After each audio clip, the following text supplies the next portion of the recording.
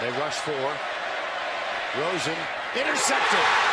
Picked off at the 47-yard line. Same guy. Justin Evans. How about that?